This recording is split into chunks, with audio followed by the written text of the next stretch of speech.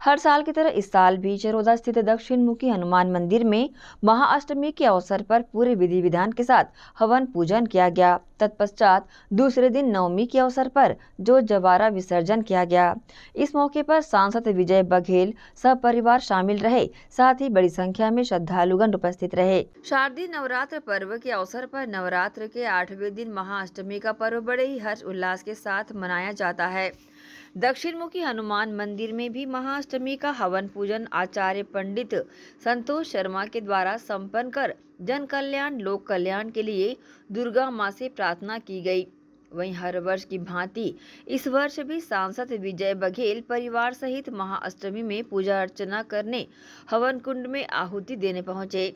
इस पर्व पर सैकड़ों की संख्या में भक्तगण शामिल होकर पूजा अर्चना कर अपनी मनोकामना मांगते नज़र आए। नवरात्र पर्व के अवसर पर सांसद विजय बघेल व मंदिर के पुजारी पंडित संतोष शर्मा ने अपनी शुभकामनाएँ क्षेत्र वासियों को दी। प्रसिद्ध हनुमान मंदिर चरौदा के इस पवित्र प्रांगण में हर साल हम लोग नवरात्रि के पवन पर्व में नौ दुर्गा के स्तुति आह्वान के साथ ज्योति कलश का स्थापना हर वर्ष होता है। और उसमें आज अष्टमी के दिन हम सब पंडित संतोष शर्मा जी के माध्यम से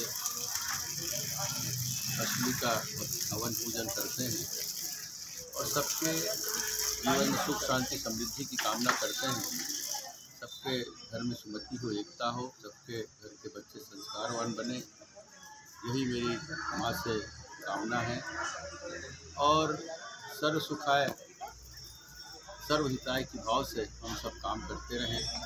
हमारा अखंड भारत, हमारा छत्तीसगढ़, जो संस्कारों की हानि है, ऐसे संस्कार व भाव हम सब के मन में बने। हनुमान जी महाराज की कृपा हम सब पर और माँ दुर्गा की कृपा हम सब पर, श्री राम जी की कृपा हम सब पर बनी रहे। फिर से एक बार, जय दुर्गा माँ, जय हनुमान जी, जय श्री राम। लेकिन चुनाव तो चुनौती है ही, नामी चुनाव है। और निश्चित रूप से जब लोगों का भाव जुटता है, लोगों के मन में प्रेम, स्नेह और एक पारिवारिक संबंध का भाव जागता है, निश्चित रूप से उसमें हर संघर्ष में सफलता मिलती है और पाटन क्षेत्र से ही मेरा संबंध बना है। तो मैं साथ वहाँ के जनता जनार्दन के साथ रहा है। और भारतीय जनता पार्टी ने जो केंद्र सरकार के माध्यम से अनेक काम किए हैं माननीय मोदी जी के नेतृत्व में जो हिंदुस्तान उस भाव के साथ हम सब बहुत, भारतीय जनता पार्टी को सफलता मिल रही है। और यहाँ की सरकार जिन्होंने पाँच साल से झूठ बोला है, प्रेम किया है, धोखा किया लोगों के साथ, भ्रष्टाचार शराबखोरी सत्ता जुमा का जो आलम है, उसका परिणाम आने वाले चुनाव में दिखेगा। और इस तरह, इस अधर्म पर चलने वाली सरकार को उखाड़ फेंकने के लिए जनता कृत संकल्पित है। जी महाराज की जय, माँ जगदम्बा भवानी की जय। प्रति वर्षानुसार हनुमान मंदिर चरोदा में शरद नवरात्रि, बसंत नवरात्रि का पर्व दोनों नवरात्रि में मनाई जाती है। यहाँ अखंड ज्योति कलश का स्थापना किया जाता है। पिछले अखंड ज्योति कलश जो है तीन सौ इक्यावन थी। इस समय चार सौ इक्यावन ज्योति कलश स्थापित किए गए हैं। और बड़े श्रद्धा के साथ सभी लोग हैं, सभी हमारे माताएँ, बहनें, भाई सब के सब का एक अटूट सहयोग जो है देखने के लिए अगर मिलता है तो हनुमान मंदिर से रख मिलती है। और साथ साथ में सबका एक आशीर्वाद के रूप में और उनकी आशीर्वाद जो है संपूर्ण यहाँ पे मिल रही है और देवी देवताओं का आशीर्वाद जो है हमारे भक्त जनों को मिल रहा है जिसमें अभी अभी, कुछ देर पहले और पूरा जब से यहाँ पर नवरात्रि का कार्यक्रम प्रारंभ हुआ है, तब से लेकर के आज तक दुर्ग दुर्ग लोकसभा सांसद श्री विजय बघेल जी हर नवरात्रि में, दोनों नवरात्रि में यहाँ पे अपनी आकर के भक्ति भाव से हवन में, पूजा में अपनी कार्यक्रम में सम्मिलित होते हैं और लोगों के बीच में रहते हैं। ये सबसे बड़ी उसकी अच्छाइयाँ हैं। मिलन सार व्यक्तित्व है और मिलनसार व्यक्तित्व के कारण लोग भी जो है आपस में घुल मिल करके जैसा बात चाहें, वैसा कर सकते हैं और करते हैं और करते रहेंगे। इन्हीं शब्दों के साथ कहना चाहूँगा कि मैं यहाँ की पुजारी संतोष शर्मा, माता भवानी हनुमान जी महाराज, समस्त देवी देवताओं से एक ही प्रार्थना करता हूँ चाहे हमारी जनता जनार्दन, हमारे भक्त, लोगों की, हमारे भाइयों की, माताओं की, बहनों की, सबकी मनोकामनाओं को पूर्ण करते हुए सबकी रक्षा करे, सबका कल्याण करे, इन्हीं भावनाओं के साथ। वहीं दूसरे दिन नवमी के अवसर पर ज्योत जवारे का विसर्जन किया गया। बता दें कि इस वर्ष दक्षिण मुखी हनुमान मंदिर चरोदा में 450 ज्योति कलश प्रज्वलित किए गए थे, जिनका विसर्जन किया गया। आइए देखते हैं इस ज्योत जवारे विसर्जन के खास अंश।